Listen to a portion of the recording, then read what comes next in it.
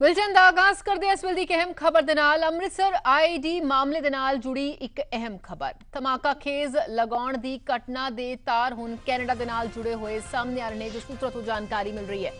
ਅੰਮ੍ਰਿਤਸਰ ਵਿੱਚ ਜੋ ਆਈਡੀ ਮਿਲੀ ਸੀ, ਉਸ ਮਾਮਲੇ ਨਾਲ ਜੁੜੀ ਇੱਕ ਵੱਡੀ ਖਬਰ ਹੈ। ਇੱਕ ਵੱਡੀ ਜੁੜੀ ਅਪਡੇਟ ਮਿਲ ਰਹੀ ਹੈ ਕਿ ਧਮਾਕਾ ਖੇਜ਼ ਸਮਗਰੀ ਲਗਾਉਣ ਦੀ ਘਟਨਾ ਦੇ ਕੈਨੇਡਾ ਦੇ ਨਾਲ ਤਾਰ ਜੁੜੇ ਹੋਏ ਸਾਹਮਣੇ ਆ ਰਹੇ ਨੇ। ਦਹਿਸ਼ਤਗਰਦ ਲਖਬੀਰ ਸਿੰਘ ਤੇ ਰਿੰਦਾ ਦੇ ਨਾਲ ਤਾਰ ਜੁੜੇ ਹੋਏ ਨੇ।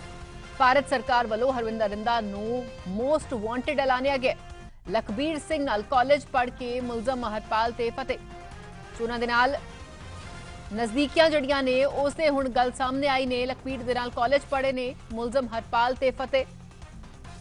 ਅੰਮ੍ਰਿਤਸਰ ਆਈਡੀ ਮਾਮਲੇ ਨਾਲ ਜੁੜੀ ਇਸ ਵੇਲੇ ਦੀ ਅਹਿਮ ਜੋ ਜਾਣਕਾਰੀ ਮਿਲ ਰਹੀ ਹੈ ਕਿ ਕਿਸ ਤਰ੍ਹਾਂ ਦੇ ਨਾਲ ਇੱਥੇ ਵੱਡੇ ਹਾਦਸੇ ਨੂੰ ਅੰਜਾਮ ਦੇਣ ਦੀ ਕੋਸ਼ਿਸ਼ ਸੀ, ਧਮਾਕਾ ਖੇਜ਼ ਲਗਾਉਣ ਦੀ ਘਟਨਾ ਦੇ ਹੁਣ ਤਾਰ ਕੈਨੇਡਾ ਦੇ ਨਾਲ ਜੁੜੇ ਹੋਣ ਦੀ ਗੱਲ ਸਾਹਮਣੇ ਸੂਤਰਾਂ ਦੇ ਹਵਾਲੇ ਤੋਂ ਆ ਰਹੀ ਹੈ ਦੱਸਦੇ ਕਿ ਦਹਿਸ਼ਤਗਰਦ ਲਖਬੀਰ ਸਿੰਘ ਤੇ ਰਿੰਦਾ ਦੇ ਨਾਲ ਤਾਰ ਜੁੜੇ ਹੋਣ ਦੀ ਗੱਲ ਸਾਹਮਣੇ ਆ ਰਹੀ ਹੈ, ਜਿਸ ਨਾਲ ਜਾਂਚ ਦੌਰਾਨ ਇਹ ਪਤਾ ਲੱਗਿਆ ਅਤੇ ਭਾਰਤ ਸਰਕਾਰ ਵੱਲੋਂ ਹਰਵਿੰਦਰ ਰਿੰਦਾ ਨੂੰ ਮੋਸਟ ਵਾਂਟਡ ਐਲਾਨ ਦਿੱਤਾ ਗਿਆ ਹੈ। ਦੱਸਦੇ ਕਿ ਲਖਬੀਰ ਸਿੰਘ ਦੇ ਨਾਲ ਕਾਲਜ ਪੜ੍ਹੇ ਨੇ ਮੁਲਜ਼ਮ ਹਰਪਾਲ ਤੇ ਫਤਿਹ ਅਤੇ ਹੋਰ ਵੀ ਜਾਂਚ ਜਿਹੜੀ ਹੈ ਮਾਮਲੇ ਵਿੱਚ ਕੀਤੀ ਜਾ ਰਹੀ ਹੈ। ਸੋ ਅੰਮ੍ਰਿਤਸਰ ਰਹੀ ਮਾਮਲੇ ਦੇ ਨਾਲ ਜੁੜੀ ਇਸ ਵੇਲੇ ਦੀ ਅਹਿਮ ਅਪਡੇਟ ਆ ਰਹੀ ਹੈ ਜੋ ਕਿ ਕਿਸ ਤਰ੍ਹਾਂ ਦੇ ਨਾਲ ਇਸ ਮਾਮਲੇ ਦੇ ਵਿੱਚ ਤਾਰ ਜਿਹੜੇ ਨੇ ਉਹ ਕੈਨੇਡਾ ਦੇ ਨਾਲ ਜੁੜੇ ਹੋਏ ਸਾਹਮਣੇ ਆ ਰਹੇ ਨੇ, ਜੋ ਤਾਰ ਜੁੜਦੇ ਨਜ਼ਰ ਆ ਰਹੇ ਨੇ। ਦਹਿਸ਼ਤਗਰਦ ਲਖਬੀਰ ਸਿੰਘ ਤੇ ਰਿੰਦਾ ਦੇ ਨਾਲ ਇਹ ਤਾਰ ਜੁੜੇ ਹੋਣ ਦੀ ਜਾਣਕਾਰੀ ਸੂਤਰਾਂ ਤੋਂ ਮਿਲ ਰਹੀ ਹੈ। ਦੱਸਦੇ ਕਿ ਭਾਰਤ ਸਰਕਾਰ ਵੱਲੋਂ ਹਰਵਿੰਦਰ ਰਿੰਦਾ ਨੂੰ ਮੋਸਟ ਵਾਂਟਡ ਐਲਾਨਿਆ ਗਿਆ। ਮਨਿੰਦਰ ਮੋਹੰਗਾ ਸਾਡੇ ਨਾਲ ਜੁੜ ਚੁੱਕੇ ਨੇ। ਮਨਿੰਦਰ ਜਿਸ ਤਰ੍ਹਾਂ ਦੇ ਨਾਲ ਇਹ ਮਾਮਲਾ ਸਾਹਮਣੇ ਆਇਆ ਸੀ 2 ਕਿਲੋ ਤੋਂ ਵੀ ਵੱਧ ਜਿਹੜੀ ਆਈਡੀ ਬਰਾਮਦ ਹੋਈ, ਵੱਡਾ ਨੁਕਸਾਨ ਦਾ ਜਿਹੜਾ ਹੈ ਪਲੈਨਿੰਗ ਸੀ ਕਿਤੇ ਨਾ ਕਿਤੇ। ਅਜੇ ਵਿਚਕਾਰ ਹੁਣ ਤਾਰ ਕੈਨੇਡਾ ਨਾਲ ਜੁੜੇ ਹੋਣ ਦੀ ਗੱਲ ਸਾਹਮਣੇ ਆ ਰਹੀ ਹੈ। ਆ ਬਿਲਕੁਲ ਰਾਦਾ ਸਭ ਤੋਂ ਪਹਿਲਾਂ ਤਾਂ ਦਰਸ਼ਕਾਂ ਦੇ ਨਾਲ ਇਹ ਜਾਣਕਾਰੀ ਸਾਂਝੀ ਕਰਨੀ ਚਾਹਾਂਗੇ ਕਿ ਜਿਸ ਤਰ੍ਹਾਂ ਦੇ ਨਾਲ ਕੱਲ ਇਹਨਾਂ ਦੋਨਾਂ ਦੋਸ਼ੀਆਂ, ਹਰਪਾਲ ਸਿੰਘ ਜੋ ਕਿ ਪੁਲਿਸ ਮੁਲਾਜ਼ਮ ਹੈ ਔਰ ਉਸਦੇ ਕਰੀਬੀ ਮਿੱਤਰ ਫਤਿਹਵੀਰ ਨੂੰ 에ਅਰਪੋਰਟ ਤੋਂ ਜਦੋਂ ਵਿਦੇਸ਼ ਭੇਜਣ ਦੀ ਫਰਾਕ ਵਿੱਚ ਸਨ ਦਿੱਲੀ 에ਅਰਪੋਰਟ ਤੋਂ ਗ੍ਰਿਫਤਾਰ ਕਰਕੇ ਲਿਆਂਦਾ ਗਿਆ ਸੀ ਤਾਂ ਉਸ ਤੋਂ ਬਾਅਦ ਅਦਾਲਤ 'ਚ ਅੱਜ ਪੇਸ਼ ਕਰਕੇ ਉਹਨਾਂ ਦਾ 8 ਦਿਨਾਂ ਦਾ ਰਿਮਾਂਡ ਹਾਸਲ ਕੀਤਾ ਗਿਆ। ਔਰ 8 ਦਿਨਾਂ ਦੇ ਵਿੱਚ ਜੋ ਪੁੱਛਗਿੱਛ ਕੀਤੀ ਜਾਣੀ, ਉਹ ਬਹੁਤ ਹੀ ਮਹੱਤਵਪੂਰਨ ਹੈ, ਪਰ ਹੁਣ ਜੋ ਆਪਣੇ ਸੂਤਰਾਂ ਤੋਂ ਸਾਨੂੰ ਜਾਣਕਾਰੀ ਮਿਲੀ ਹੈ, ਉਸ ਅਨੁਸਾਰ ਇਸ ਪੁੱਛਗਿੱਛ ਦੌਰਾਨ ਜਿਹੜੀ ਅਹਿਮ ਜਾਣਕਾਰੀ ਮਿਲਣੀਆਂ ਸ਼ੁਰੂ ਹੋ ਚੁੱਕੀਆਂ ਨੇ। ਸਭ ਤੋਂ ਪਹਿਲੀ ਜਾਣਕਾਰੀ ਜੋ ਸਾਡੇ ਤੱਕ ਪਹੁੰਚੀ ਹੈ ਆਪਣੇ ਸੂਤਰਾਂ ਅਨੁਸਾਰ, ਉਹ ਹੈ ਕਿ ਇਹਨਾਂ ਦੋਨਾਂ ਦੀ ਹਰਪਾਲ ਸਿੰਘ ਅਤੇ ਫਤਿਹਵੀਰ ਸਿੰਘ ਦੀ ਕੈਨੇਡਾ 'ਚ ਬੈਠੇ ਨਾਮੀ ਗੈਂਗਸਟਰ ਲਖਵੀਰ ਸਿੰਘ ਅਤੇ ਰਿੰਦਾ ਦੇ ਨਾਲ ਸਾਰਾ ਜੁੜੀਆਂ ਨੇ ਉਹਨਾਂ ਦੇ ਬੇਹੱਦ ਕਰੀਬੀ ਬੰਦੇ ਜਾਂਦੇ ਹਨ ਤੱਕ ਸਾਨੂੰ ਜਾਣਕਾਰੀ ਮਿਲੀ ਕਿ ਲਖਵੀਰ ਦੇ ਨਾਲ ਦੋਨੋਂ ਇਕੱਠੇ ਕਾਲਜ ਦੇ ਵਿੱਚ ਪੜ੍ਹੇ ਨੇ ਹਰਪਾਲ ਅਤੇ ਫਤਿਹਵੀਰ ਸਿੰਘ। ਤਾਂ ਉਹਦੇ ਇਸ਼ਾਰੇ ਤੇ ਜਿਹੜੇ ਹੈ ਇਹ ਇਹਨਾਂ ਕਾਰਵਾਈਆਂ ਨੂੰ ਅੰਜਾਮ ਦੇ ਰਹੇ ਸਨ।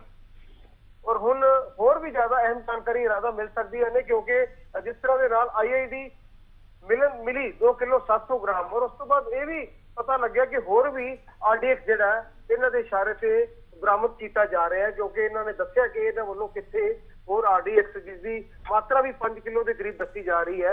ਉਹ ਇਹਨਾਂ ਵੱਲੋਂ ਕਿਤੇ ਲੁਕੋ ਕੇ ਰੱਖਿਆ ਗਿਆ ਸੀ ਔਰ ਬਿਨਾਂ ਸ਼ੱਕ ਉਸ ਆਰਡੀਐਕਸ ਨਾਲ ਵੀ ਕਿਸੇ ਨਾ ਕਿਸੇ ਘਟਨਾ ਨੂੰ ਅੰਜਾਮ ਦੇਣ ਦੀ ਫਰਾਕ ਵਿੱਚ ਨੇ ਦੋਨੋਂ।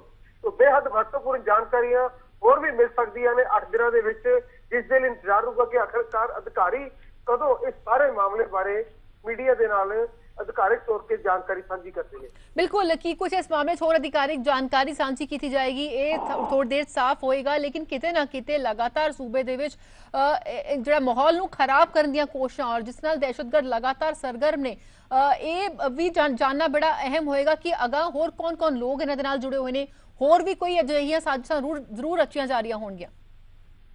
ਬਿਲਕੁਲ ਦਾਦਾ ਜਿਸ ਤਰ੍ਹਾਂ ਦਾ ਨੈਟਵਰਕ ਇਹਨਾਂ ਵੱਲੋਂ ਚਲਾਇਆ ਜਾ ਰਿਹਾ ਸੀ ਇੱਕ ਬੇਹੱਦ ਖਤਰਨਾਕ ਵਿਸਫੋਟਕ ਸਮਗਰੀ ਇਹਨਾਂ ਦੇ ਕੋਲ ਸੀਗੀ ਔਰ ਉਸ ਤੋਂ ਬਾਅਦ ਇੱਕ ਸ਼ਹਿਰ ਦੇ ਪੋਸ਼ ਇਲਾਕੇ ਵਿੱਚ ਇਹਨਾਂ ਵੱਲੋਂ ਇੱਕ ਪੁਲਿਸ ਅਧਿਕਾਰੀ ਦੀ ਗੱਡੀ ਦੇ ਵਿੱਚ ਟਾਈਮਰ ਲਗਾ ਕੇ ਜੋ ਹੈ ਉਹ ਆਈਆਈਡੀ ਪਲਾਂਟ ਕੀਤਾ ਗਿਆ ਸੀ ਬੰਬ ਪਲਾਂਟ ਕੀਤਾ ਗਿਆ ਸੀ ਔਰ ਬਿਨਾਂ ਸ਼ੱਕ ਇਹ ਆਪਣੇ ਤੌਰ ਤੇ ਇਕੱਲੇ ਇਹਨਾਂ ਦੋਵਾਂ ਦੇ ਵੱਸ ਦੀ ਗੱਲ ਨਹੀਂ ਇਹਨਾਂ ਜੀ। ਇੱਕ ਵੱਡਾ ਨੈਟਵਰਕ ਹੋਊਗਾ ਹੋਰ ਕਾਫੀ ਲੋਕ